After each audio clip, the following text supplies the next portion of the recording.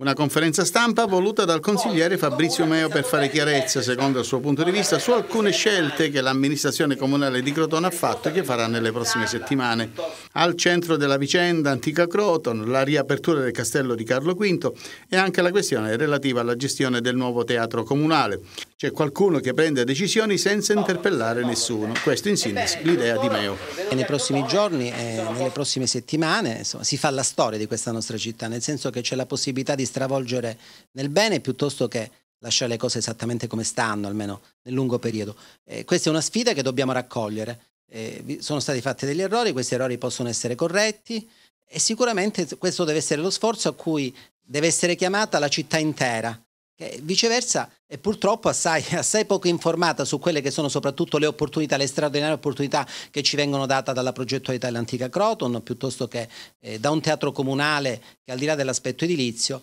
eh, va gestito e per poterlo gestire è necessario appunto eh, aprire, aprire a tutta la città, costituire una fondazione, un soggetto che faccia sì che le risorse possano essere intercettate e possono poi rimanere nella nostra città. C'è il problema di mettere a sistema eh, tutte eh, le risorse culturali e tutti i beni materiali e immateriali di questa nostra città. Quindi c'è il castello che addirittura l'ente potrebbe acquisire, eh, c'è eh, un patrimonio artistico non indifferente che eh, giace eh, totalmente in stato d'abbandono, sprovvisto oltretutto di assicurazione, quindi non si può utilizzare, rispetto a cui vi è un'assoluta indifferenza.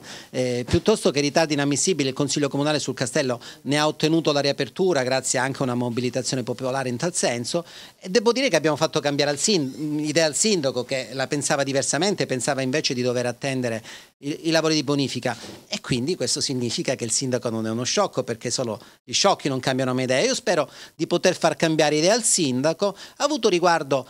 a degli errori piuttosto che a delle cose che sono sicuramente da perfezionare che esistono sia nell'antica Croton sia avuto riguardo alla programmazione per il teatro.